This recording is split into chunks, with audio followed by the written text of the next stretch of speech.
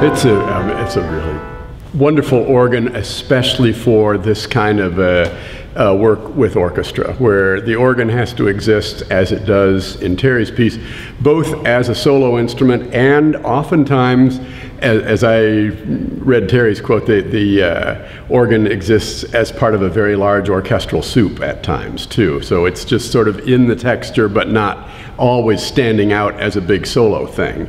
And this organ has so much variety that it can do both roles very successfully. And the, the sound in the hall is, I mean, I think it's just a really magnificent hall you have here in Nashville. It's great for sound of all sorts, including the organ. So it, it's a natural, really.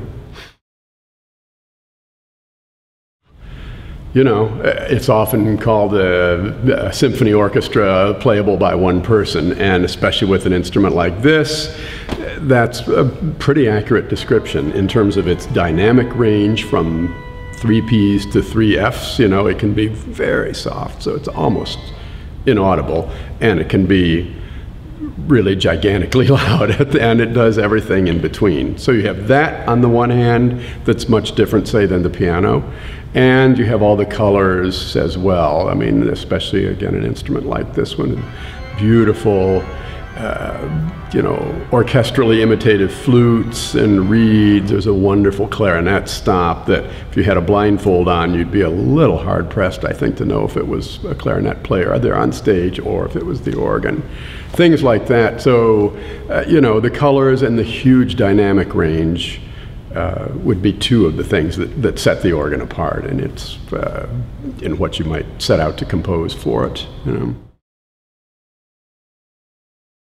Some of it is, is, the experience, and I've listened to it a lot uh, from the uh, Berlin recording that they sent me. And um, actually, as I listen more and more to it, some of the moments that I am most entranced with are some of the quiet things. Um, the loud, there's some really exciting, like the end of the first movement is a wonderful, sort of visceral. Uh, you know, thrilling, big, loud, active bit for both the organ, organ and the orchestra, and it's really exciting in its sort of rhythmic, uh, uh, irresistible quality.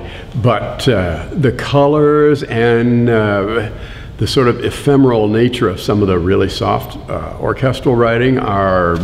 I've almost never heard anything exactly like it. You know, it's it's very evocative and uh, yeah, hard to compare to precise. It, it's a little like many other things, but it's not exactly like much of anything that I've heard before.